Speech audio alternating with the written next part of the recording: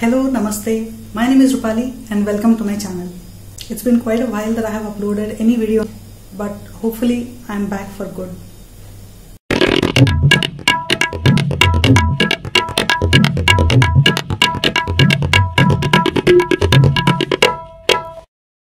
A long time ago, I was in a class to learn the American accent. The first thing they teach you is to roll your R's. The moment I heard it, my mind goes and I can't control my laughter. But I have mastered the art of laughing without a smile appearing on my face, thanks to my college lecturers. So my mind was making all those noises and I was ROFling in my mind like crazy when the trainer gives us some examples. Lighter, she says. Now in India, all our languages are pronunciation heavy. So if there is a character in a word, we make sure that we pronounce it. So we pronounce lighter as lighter. But because our syllabus has been designed by Britishers, we silence the R at the end. Lighter. I know ya. Tell me more ya. Yar is a Hindi word which means pal. It's a different thing we can't leave English alone. We have to have some regional word, some regional accent put into the sentence. I know da. I was simply crossing the road yanna raskala. कौन जिला बे कौन जिला बे खोते आ come here let me beat the shit out of you पटाफाई द गुरु नहीं तर खड्डयात पुरु। And पटाफाई is a legit English word हाँ? Oxford Baba thank you for accommodating our languages you accepted our मात्र, भ्रात्र त्रिकोण मिति चंपू। So mother the missing are So, our trainer taught us that the Brits silence their R's while the Americans roll their R's. It's a good thing that I didn't learn the English spelling of ass. A R S E. Ass. Which, of course, the Indians would have pronounced as R's. because we pronounce every character in every word. So, rolling our R's would have gained a completely different meaning altogether. Growing up, we were taught that ass is a creature similar to donkey, just a little shorter. But when we grew up, the meaning of the same word changed to the place where a donkey lands its kick. Makes sense? Probably. so, the R's, ass, ass. मैं तुम्हारे पास बड़ी आस लेके आई हूँ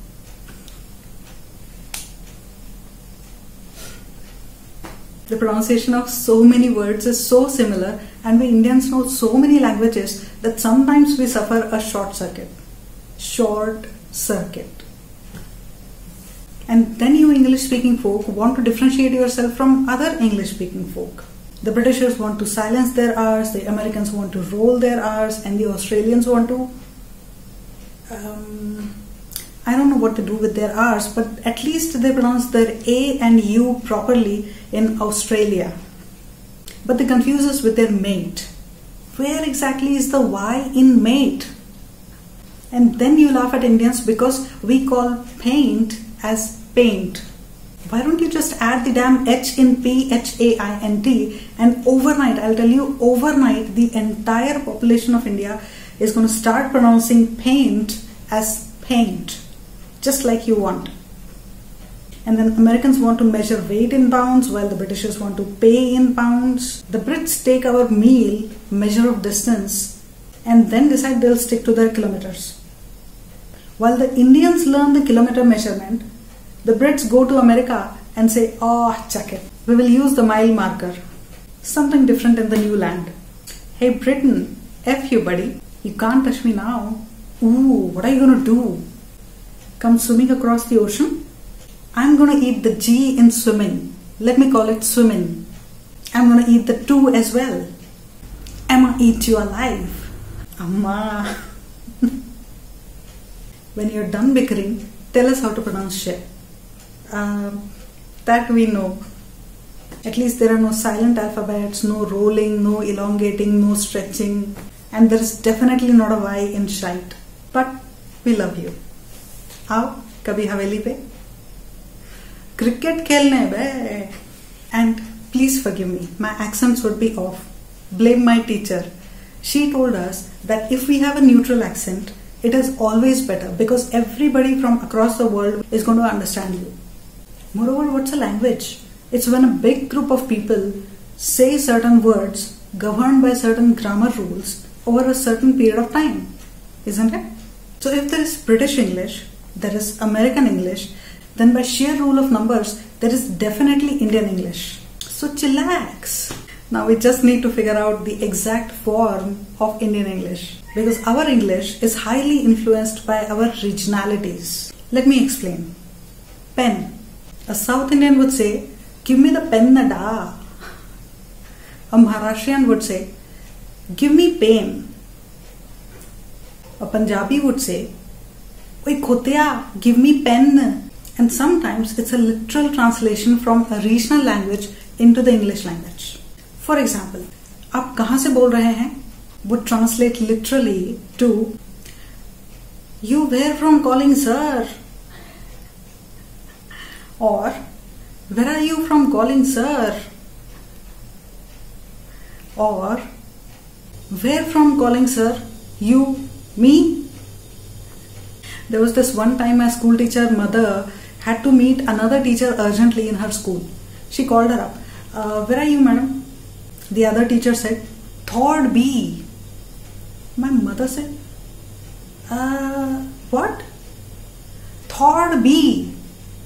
Uh, I'm sorry, I didn't get you. Could you please repeat that? Where exactly can I find you? Third B, third B, third B. After half an hour of searching for her, my mother found that teacher in front of the class, third B. And the other teacher goes like, I was telling you, I was in front of third B, third B, third B. You are not even understanding only. And then there are people from my city, Pune. If you ask them, is XYZ at home? They'll look at the doorway and say, I don't see their shoes around. You will scratch your head and say, uh, I'm sorry, is this person at home? And the person again will tell you, I don't see his spectacles either. And you will be saying, Lady, I was asking you, is this person at home? And what are you answering? And she will tell you, if you can't discern from the missing spectacles and shoes that the person is not at home, then you are either uneducated or you are stupid. Which one are you?